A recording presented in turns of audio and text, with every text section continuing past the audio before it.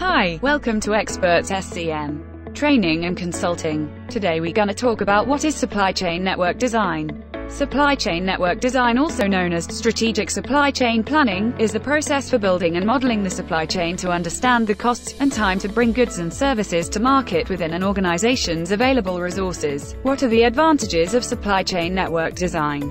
Working supply chain network design can improve customer service and satisfaction. Good supply chain network design can balance the costs and service. Successful supply chain network design can help a company achieve competitive advantage. In this program there are three parts.